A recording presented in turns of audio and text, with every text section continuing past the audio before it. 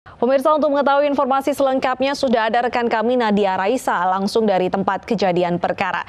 Selamat siang Nadia, bagaimana perkembangan terbaru terkait dengan penemuan bom di sana?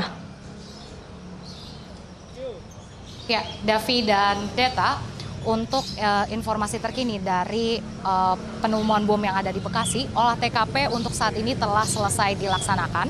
Olah TKP tersebut melibatkan lab 4G bom dan juga Inafis, di mana dari olah TKP itu ditemukan lima box barang bukti, uh, yang mana barang-barang bukti tersebut merupakan bahan-bahan yang dipakai untuk merakit bom. Antara lain ada sendok, saringan, dan juga buku-buku mengenai cara merakit bom.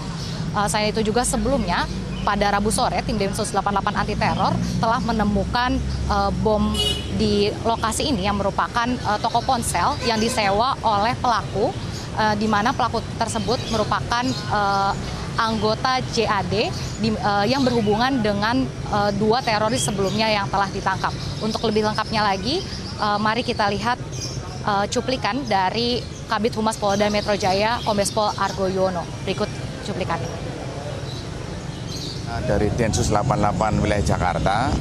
Itu kemarin menangkap ya artinya menangkap pelaku e, bernama Rafli. Gitu ya.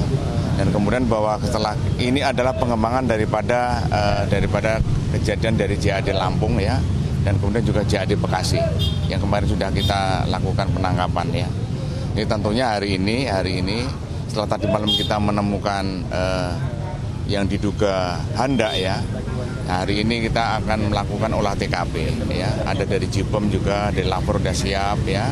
Yang tadi malam satu, salah satu e, daripada handak sudah kita deposal ya. Tadi malam dan e, sekitar jam 21 ya.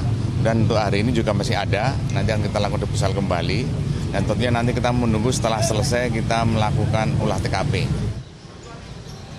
Ya, untuk uh, sekarang ini olah TKP telah selesai dilaksanakan dan pihak kepolisian bersama Lapor Jibom dan juga Inafis menuju ke kediaman pelaku untuk melanjutkan olah TKP selanjutnya. Ya, Davi dan juga Deta. Baik, terima kasih Nadia Raisa atas laporan Anda langsung dari tempat kejadian perkara. Selamat bertugas kembali Nadia.